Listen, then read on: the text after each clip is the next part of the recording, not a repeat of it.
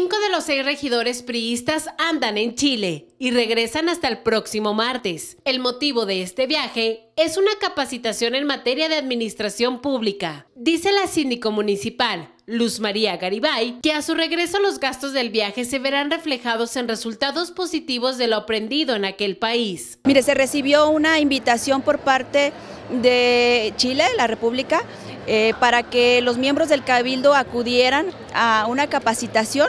Esto, esto quiere decir que de alguna manera eh, el, gasto que se va a hacer con tenerlos allá redundará en un beneficio para el municipio con, con la eh, capacitación que obtendrán, con el conocimiento nuevo que traerán en beneficio de las políticas públicas que pueda llevar a cabo el municipio. Cosas. Fueron a un congreso, eh, eh, yo sí me, sí me giraban la invitación, lo vi así como que de rápido, pero puedo recordar eso, que, que, la intención es precisamente mejorar, mejorar no nada más en cuanto a políticas, el gobierno no nada más son políticas, es todo un conjunto de elementos que además de las políticas tienen que ver con el buen uso de los recursos, con la buena administración, con el, con el buen este, ejercicio de la política social, etcétera. ¿no? Será hasta su regreso cuando se dé a conocer el gasto total de este viaje, mientras las comisiones se realizan sin la presencia de la fracción del PRI. Con imagen de Alejandro Silva, informó para Canal 12 Denis Villarreal.